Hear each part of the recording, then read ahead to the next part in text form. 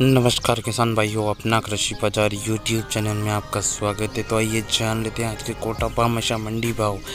तो मिल क्वालिटी का गेहूँ न्यूनतम उन्नीस सौ उच्चतम दो हज़ार पचास तक बिका है आज।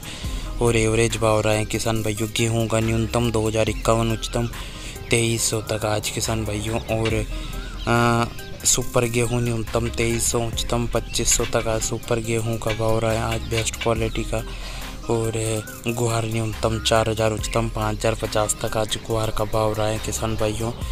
और किसान भाइयों, बात कर ले, जो कि तो न्यूनतम सत्रह सौ, उच्चतम अट्ठारह सौ इक्यावन तक आज जो भी कहें किसान भाइयों, आज। और किसान भाइयों, लहसुन न्यूनतम पैंतीस सौ, उच्चतम दस हज़ार दो सौ तक आज लहसुन का भाव रहा है किसान भाइयों, आज।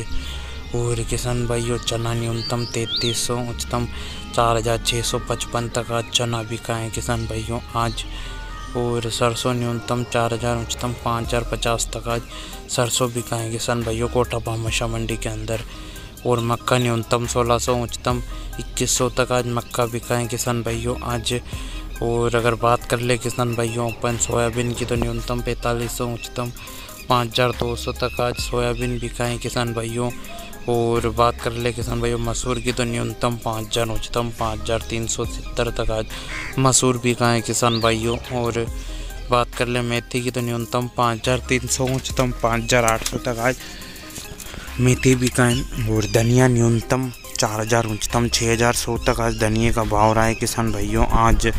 और किसान भाइयों, अलसी न्यूनतम अड़तीस सौ उच्चतम चार हज़ार तीन सौ पचास तक आज अलसी का भाव रहा है कोटा बामाशा मंडी के अंदर।